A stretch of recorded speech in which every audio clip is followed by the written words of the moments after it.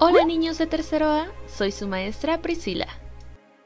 Tal vez se sorprendan al verme ahora de una manera digital, pero yo estoy muy contenta de verlos un martes más. En la clase de hoy platicaremos de un tema muy importante, las leyes que regulan la convivencia y protegen nuestros derechos. En una sociedad se establecen normas y leyes que ofrecen seguridad y facilidades para satisfacer los intereses y necesidades de los individuos que la integran.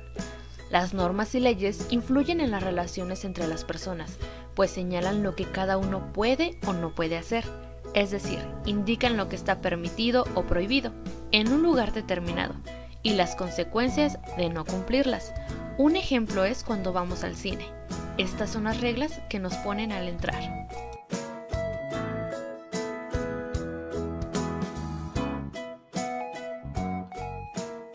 ¿Tú crees?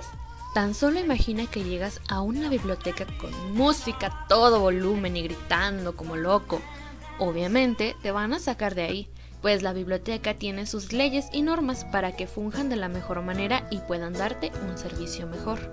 Por las normas y leyes es posible que exista una convivencia respetuosa, por ejemplo, que los distintos países reconozcan sus fronteras y que sus gobiernos velen por cumplir los derechos nacionales, que los padres sepan cuáles son sus obligaciones hacia sus hijos, que las escuelas funcionen y puedan exigir a maestros y alumnos cumplir con sus compromisos, y al gobierno desempeñar sus obligaciones como educar, ofrecer servicios de salud, brindar seguridad a los ciudadanos y sobre todo informar periódicamente para que podamos saber si estamos cumpliendo con nuestras responsabilidades.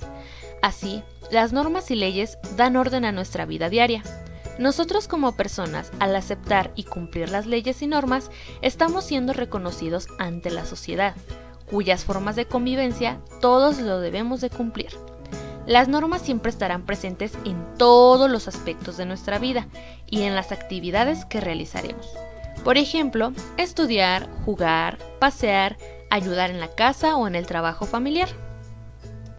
¿Qué te parece si en tu cuaderno de formación cívica y ética escribes cinco normas que conozcas en estas actividades que realizas a diario? Bueno, hoy sería todo. Nos vemos hasta la próxima. Adiós.